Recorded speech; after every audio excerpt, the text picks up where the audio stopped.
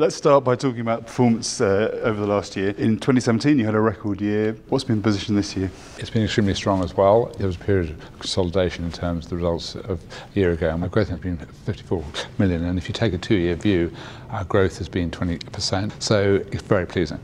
Which areas have uh, performed particularly strongly in terms of markets and product areas? Uh, what, what's really underpinned that performance? The standouts are our continental offices, our Central and Eastern Europe offices, and our advanced delivery businesses.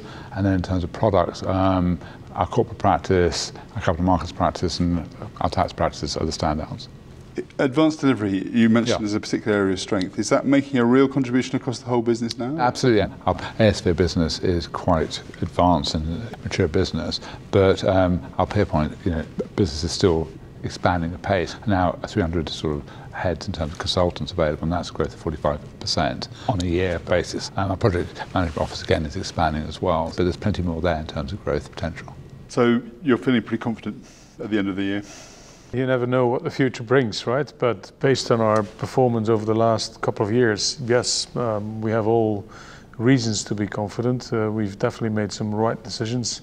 Uh, the cross-border nature of our work, uh, the new delivery models, the technology areas are all kind of helping us um, grow the business. I mean, obviously, it's a very active M&A market, and that's fueled sort of the finance and capital markets practices as well.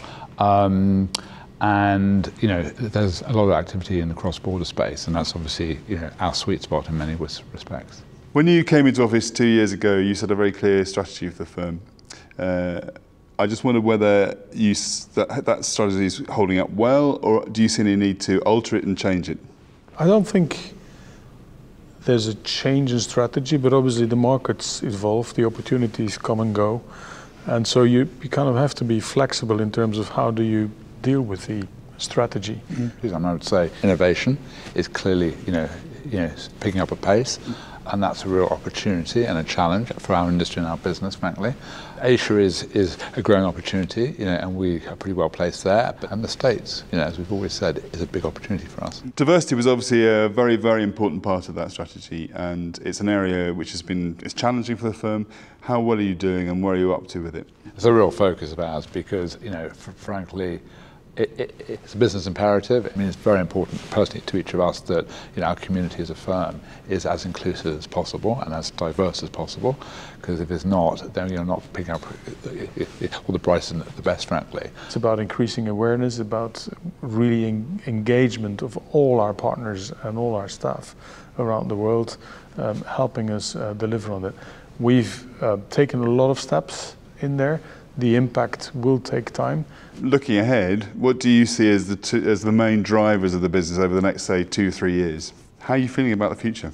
It's clearly a period of uncertainty. I mean, the first a few months of this year have been extremely good and the pipeline's strong. But if you're, you know, if you're looking out over the next 18 months, it's going to be choppy, I think. Cross-border activity, you know, is still going to be there. Um, I think there'll be growth back in terms of litigation, restructuring as the storm clouds sort of appear. It's going to be a market adjustment at some stage. How long that takes, I don't know, but I think in a three-year time frame, it's going to have happened. Isn't it? Yeah. In terms of growth, I think it starts with the client, and I think you know a deep understanding of the client businesses and challenges. Get access to better talent, increase um, our standing in the U.S. law market. So there's a there's a you know growth opportunities are obviously going to be in Asia. So I think really um, invest um, uh, heavily in Asia. And then obviously stay ahead in terms of innovation, technology, and advanced delivery. So that, that would be my five picks. If we keep on, you know, driving those five big um, strategic priorities forward, uh, I think we can keep on growing. I think the firm is in a great place, um, but it's a dynamic opportunity and a dynamic market. Um, there's no, you know, shred of complacency on the, either of us, frankly. It really is about, you know, a culture of challenging ourselves about the way we deliver the services uh, to the clients. And as long as we, you know, cherish that and keep that mindset and culture going, I think we're, we're in a very good place.